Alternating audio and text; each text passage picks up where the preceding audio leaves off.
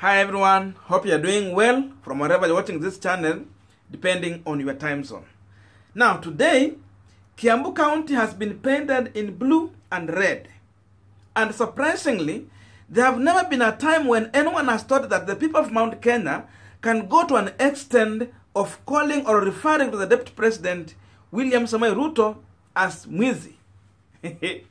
but today the ground was overexcited.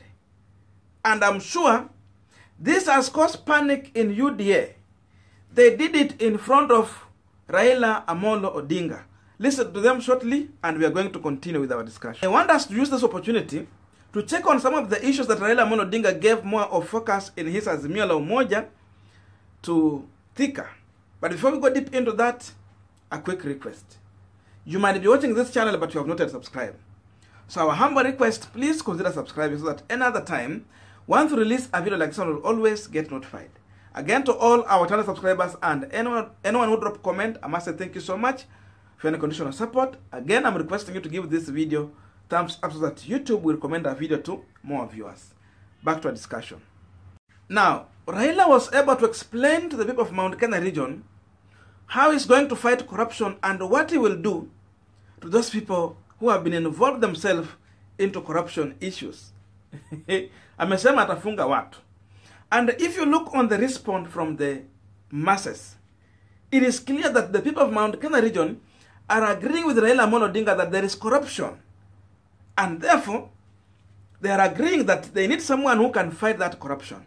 And because Raila has a clear plan on how to deal with the issue of corruption, these people are buying into what Raila is selling to them.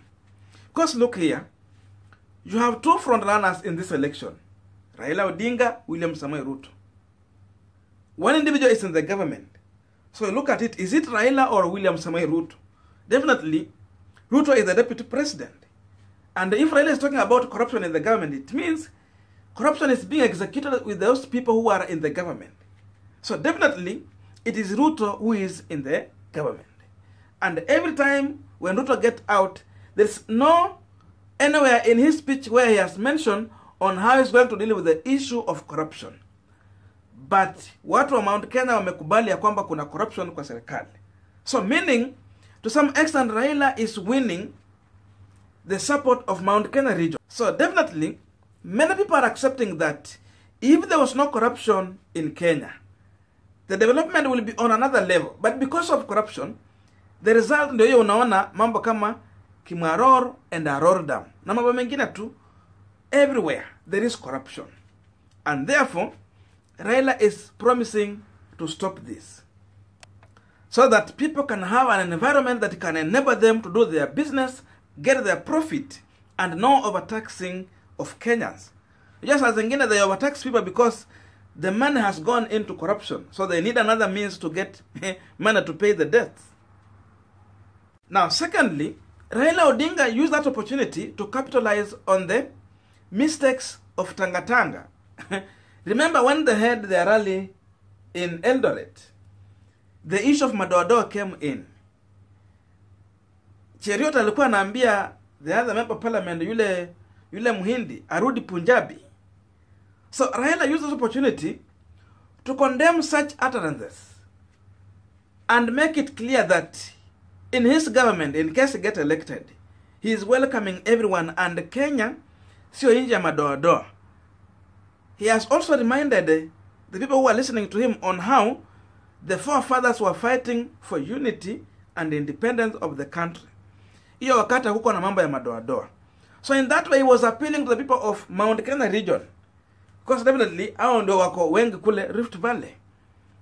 That they are safe in Azimio government. He also extended this by assuring the Hindi community in Kenya that they are only safe in Azimio government. Because for him, he's embracing everyone. And once you are a Kenyan, there's no way someone should tell you Urudi Punjabi. That's why he had to mention Punjabi.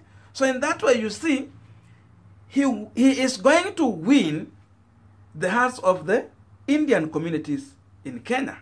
They are going to easily vote for Raila Odinga and not William Samoei Ruto. Because ukiona ile matamshi akina Cheriot wanatoa, definitely they are not the Indians cannot be safe in maybe UDA government. So Raila has scored very, very well on this one because when your opponent make mistake, try to look for a way to gain from that mistake. So he's doing very well on this. And you can see the crowd is receiving it very well.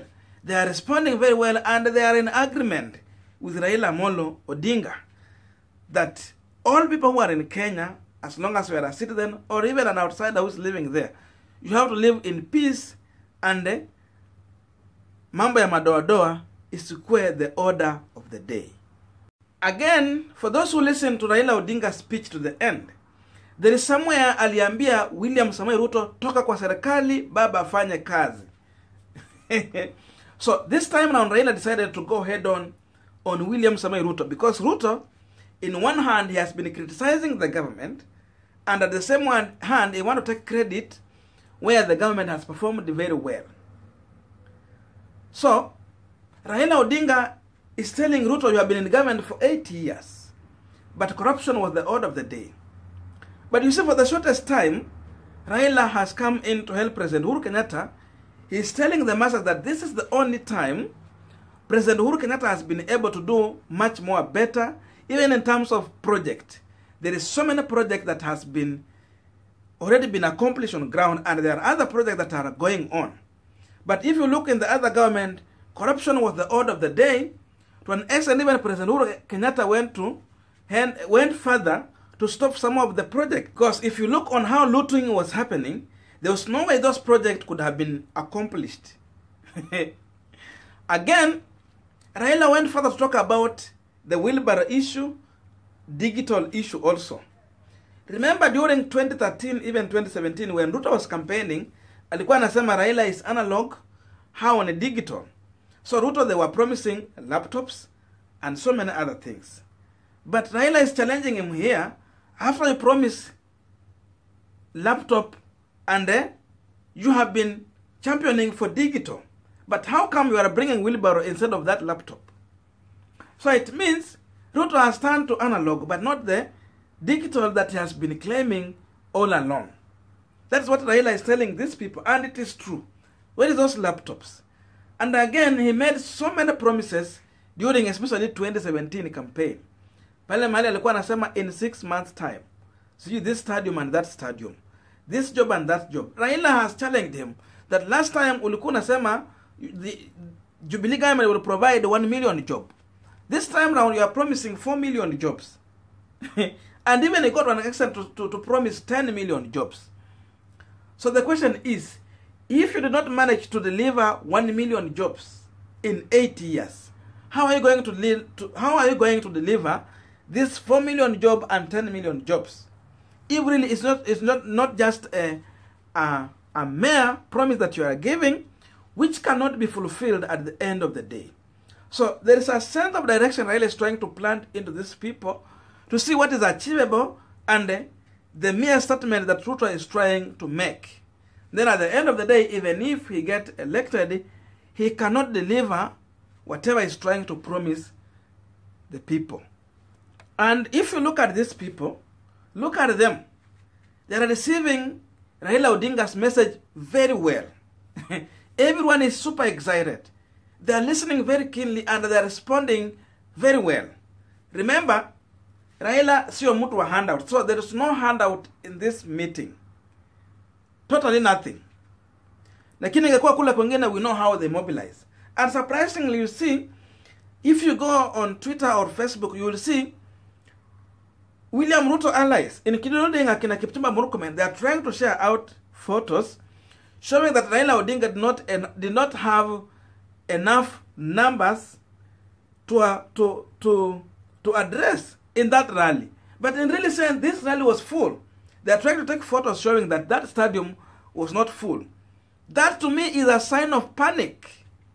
These people are panicked. That's why they're trying to share out this kind of information to mislead Kenyans. Because in really sense, Raila had one of the best rallies in Thika town. Thank you so much for listening to me up to this far. I don't know what you think about this, but I can only read your your views through the comment section. So let us have a continuation of this conversation through the comment section. May good God bless you and see you in our next video.